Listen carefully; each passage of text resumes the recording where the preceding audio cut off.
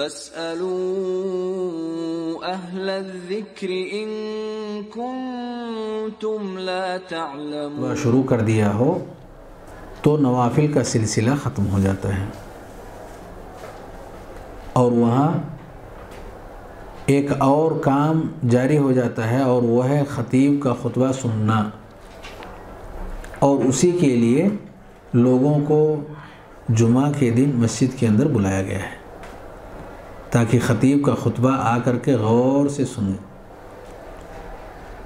اب اگر خطبے کے دوران کوئی شخص پہنچ رہا ہے، تاخیر ہوئی، وقت پر نہیں پہنچ سکا، تو کیا مسجد میں پہنچنے کے بعد ڈائریکٹ بیٹھ کر کے وہ سننے لگے؟ نبی کریم صلی اللہ علیہ وآلہ وسلم نے ایک شخص کو دیکھا جنہوں نے ایسے ہی کیا۔ آپ نے ان سے کہا، کھڑے ہو جاؤ۔ اور دو مختصر رکعات پر مشتمل نماز پڑھ لو۔ نام ان کا تھا سلیک الغطفانی۔ سلیک الغطفانی۔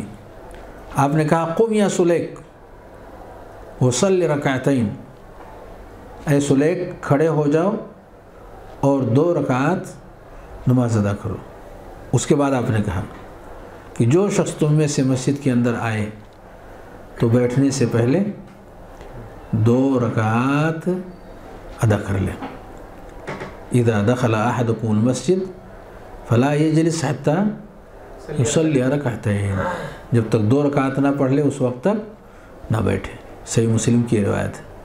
اس سے معلوم یہ ہوا کہ خطبے کے دوران مختصر دو رکعات آنے والا شخص پڑھ کر کے اور بیٹھ جائے۔ اس سے زیادہ نہ پڑھے۔ بیٹھ کر کے غور سے خطیب کا خطبہ سنیں۔ اگر کوئی شخص بھول جائے یا جانکاری اسے نہ ہو، آ کر کے وہ بیٹھ جائے، پھر اسے کیا کرنا ہے؟ اسے جانکاری ملتے ہی کھڑے ہو جانا چاہیے۔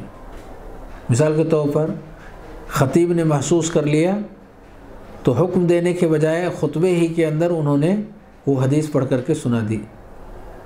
کان سے بات ٹکرائی اور فوراً ہماری جانکاری میں یہ مسئلہ آ گیا۔ وہ سنتے ہی ہمیں کیا؟ کھڑے ہو جانا چاہیے۔ اور کھڑے ہو کر کے وہ دو رکعت ادا کر لینی چاہیے۔